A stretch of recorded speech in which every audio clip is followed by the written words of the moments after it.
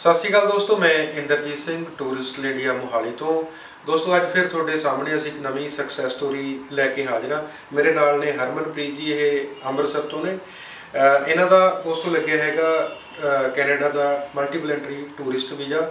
ਇਹਨਾਂ ਦਾ ਜਿਹੜਾ ਵੀਜ਼ਾ ਹੈਗਾ ਅਹ 12 ਦਿਨਾਂ ਦੇ ਵਿੱਚ ਸਾਨੂੰ ਮਿਲਿਆ ਹੈ। ਔਰ ਇਹਨਾਂ ਦੀ ਏਜ ਕਿੰਨੀ ਹੈ ਤੁਹਾਡੀ? 21 21 ਸਾਲ ਉਮਰ ਹੈ। ਤੇ 12 ਦਿਨਾਂ ਦੇ ਵਿੱਚ ਇਹਨਾਂ ਦਾ ਅਸੀਂ ਵੀਜ਼ਾ ਲੈ ਕੇ ਦਿੱਤਾ ਹੈ। ਤੋਂ ਸਭ ਤੋਂ ਪਹਿਲਾਂ ਤਾਂ ਹਰਮਨ ਨੂੰ ਬਹੁਤ-ਬਹੁਤ ਮੁਬਾਰਕਾਂ। ਤੁਹਾਡਾ ਆਨਲਾਈਨ ਅਪਰੂਵਲ ਜਿਹੜਾ ਹੈ ਵੀਜ਼ਾ ਆ ਗਿਆ ਹੈ। ਤੁਹਾਨੂੰ ਮੁਬਾਰਕਾਂ ਬਹੁਤ। ਤੇ ਤੁਸੀਂ ਸਾਡੀ ਕੰਪਨੀ ਬਾਰੇ ਸਾਡੀ ਸਰਵਿਸ ਬਾਰੇ ਦੋ ਸ਼ਬਦ ਕੀ ਕਹਿਣਾ ਚਾਹੋਗੇ? ਅਹ ਮੈਂ ਕਹਿਣਾ ਚਾਹੁੰਦਾ ਕਿ ਮੈਂ ਐਮਰਜੈਂਸੀ ਸਿਚੁਏਸ਼ਨ ਹੈਗੀ ਸੀ ਮੇਰੀ ਤੇ ਮੈਂ ਬਾਹਰ ਜਾਣਾ ਸੀ। ਤੇ ਮੈਂ ਕਾਫੀ ਸਟ੍ਰੈਸਡ ਆਊਟ ਸੀ ਕਿ ਮੈਂ ਮਤਲਬ ਕਿਵੇਂ ਜਾਵਾਂ ਹੁਣ। ਤੇ ਮੈਂ ਨੈਟ 'ਤੇ ਸਰਚ ਕਰਦਾ ਰਹਿੰਦਾ ਸੀ। ਤੇ ਫਾਈਨਲੀ ਮੈਂ YouTube ਵੀਡੀਓ ਦੇਖੀ ਸਰ ਦੀ। ਤੇ ਮੈਨੂੰ ਕਾਫੀ ਓਨੈਸਟ ਲੱਗੇ ਤੇ ਫਿਰ ਮੈਂ ਇਹਨਾਂ ਨੂੰ ਕੰਟੈਕਟ ਕੀਤਾ ਤੇ ਫਿਰ ਹਰਨੀਤ ਮੈਡਮ ਨੇ ਕੋਆਰਡੀਨੇਟ ਕੀਤਾ, ਸਾਰੇ ਉਹਨਾਂ ਨੂੰ ਜਿਹੜੇ ਡਾਕੂਮੈਂਟ ਸੀ ਈਮੇਲ ਕੀਤੇ ਉਹਨਾਂ ਨੂੰ ਤੇ ਮੇਰਾ 12 ਦਿਨਾਂ ਦੇ ਵਿੱਚ ਅਪਰੂਵਲ ਲੈਟਰ ਹੱਥ 'ਚ ਹੁਣ। ਤੇ ਮੈਂ ਬਹੁਤ ਬਹੁਤ ਥੈਂਕ ਯੂ ਕਰਦਾ ਸਰ ਤੁਹਾਡਾ, ਹਰਨੀਤ ਮੈਮ ਦਾ।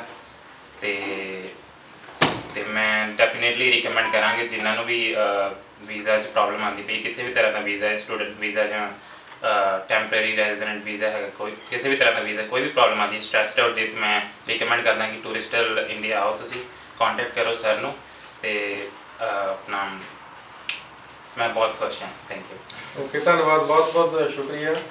ਦੋਸਤੋ, ਕਿਸੇ ਤਰ੍ਹਾਂ ਦੀ ਵੀ ਤੁਹਾਨੂੰ ਕੋਈ ਪ੍ਰੋਬਲਮ ਆਉਂਦੀ ਹੈ ਤੁਹਾਨੂੰ ਤੁਸੀਂ ਐਮਰਜੈਂਸੀ ਵਿੱਚ ਤੁਸੀਂ ਬਾਹਰ ਜਾਣਾ ਚਾਹੁੰਦੇ ਹੋ, ਜਾਂ ਤੁਸੀਂ ਟੂਰਿਸਟ ਵੀਜ਼ਾ ਲੈਣਾ ਚਾਹੁੰਦੇ ਹੋ, ਭਾਵੇਂ ਤੁਸੀਂ, ਤੁਹਾਡੀ ਉਮਰ 18 ਸਾਲ ਹੈ 20 ਹੈ 21 ਸਾਲ ਹੈ, ਜਾਂ ਕਿੰਨੀ ਵੀ ਤੁਹਾਡੀ ਉਮਰ ਹੈਗੀ ਹੈ ਜਿਹੜੀ ਏਜ ਹੈ ਮੈਟਰ ਨਹੀਂ ਕਰਦੀ।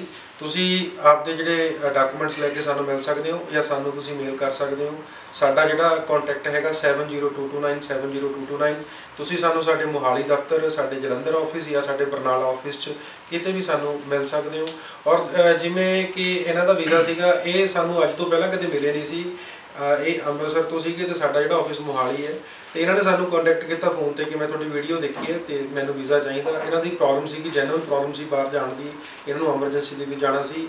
ਇਹ ਜਿਹੜਾ ਮੁੰਡਾ ਕਾਫੀ ਟੈਨਸ਼ਨ ਦੇ ਵਿੱਚ ਸੀਗਾ ਕਿ ਮੈਂ ਕਿਵੇਂ ਜਾ ਪਾਊਂਗਾ ਜਾਂ ਮੈਨੂੰ ਵੀਜ਼ਾ ਮਿਲੂਗਾ ਜਾਂ ਨਹੀਂ ਮਿਲੂਗਾ।